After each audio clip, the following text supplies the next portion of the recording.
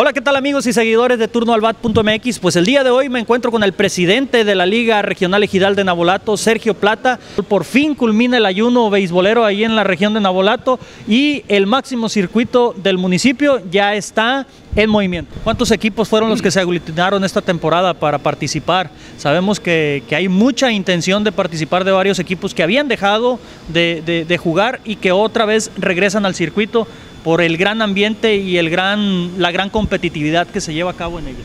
Así es, regresa Bachoco, un equipo que siempre ha estado, pero se había ausentado una temporada, al Tata, una, una sede muy importante para, para nosotros, porque los equipos visitantes ir al Tata es esa parte de ir a disfrutar el béisbol, es disfrutar también el mar. La un atractivo especial. Así es. El problema ahí que tenemos campos que es necesario irlos arreglando poco a poco, como es el caso del mismo Altata y el Vedal. La temporada lleva el nombre de, de Jesús Antonio Plata Uriarte. Bueno, generalmente no lo conocemos con ese nombre, pero todo el mundo lo conocemos como el 8. El... Así es, Plata Uriarte, el famoso 8 de allá de Bachimeto, pues va a ser el hombre que va a estar llevando a cabo eh, los honores esta temporada, donde bueno, ¿Cuántos equipos son los que ten, tenemos en pie de lucha? Tenemos ocho. Ocho equipos en pie de lucha para esta temporada. Bueno, y en ese sentido también un dato importante y que ha llamado mucho la atención dentro de los peloteros del béisbol nabolatense, pues es la participación del, del, municipio en el estatal de béisbol del 21 al 24 allá en el Fuerte y en el Choix. ¿Cómo está preparado Nabolato?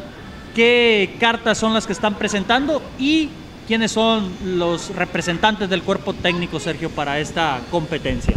Mira, en este momento el manejador va a ser Pedro Tapia, porque pues ese es el, el campeón del, del, torneo pasado. Va a llevar de apoyo a lo que es Pepe Burgueño, un manejador muy conocido ahí de La Palma, y posiblemente lo acompañe también Gustavo Plata, mejor conocido como el Mini pues son tres personas de mucha experiencia en el béisbol nabolatense, son personas que han tenido indudablemente muchos logros.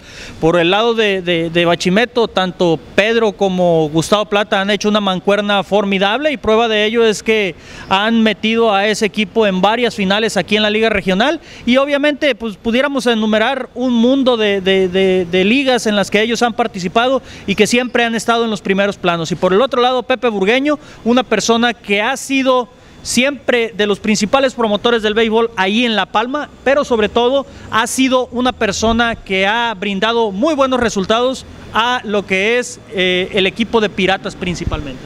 Así es, eh, yo pienso que con esos manejadores tendremos prácticamente lo que es la logística y la dirección muy bien. Eh, los peloteros, pues hay una lista de 25 peloteros, lógicamente vamos, vamos a quedarnos con 22.